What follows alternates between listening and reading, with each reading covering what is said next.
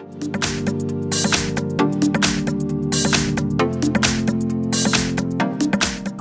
Hola, hoy vamos a ver cómo activar y programar el modo no molestar en el Realme C31. Para activar y programar el modo no molestar tenemos que entrar en la aplicación ajustes. Ahora vamos a la pestaña sonido y aquí podemos ver no molestar. Entramos, podemos activar ahora o desactivar ahora. Aquí vemos el icono de la luna que significa que el modo está activado. O que es más importante, entramos en la personalización del modo no molestar. Pulsamos a personas y ahora podemos entrar en llamadas, también en mensajes. Y lo que es muy interesante es que, bueno, en general durante el modo no molestar activado no recibimos ninguna llamadas ni mensajes, pero podemos cambiarla. Y por ejemplo decidir que durante el modo no molestar queremos recibir las llamadas de los contactos destacados, que, es decir, contactos favoritos que tenéis que elegir en la lista de los contactos.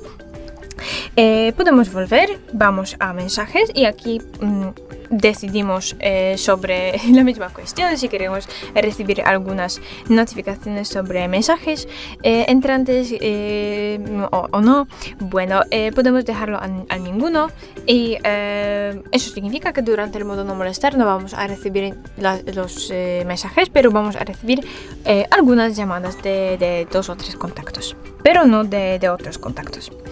Volvemos y también os quiero mostrar cómo activar el modo no molestar con la programación que tenemos.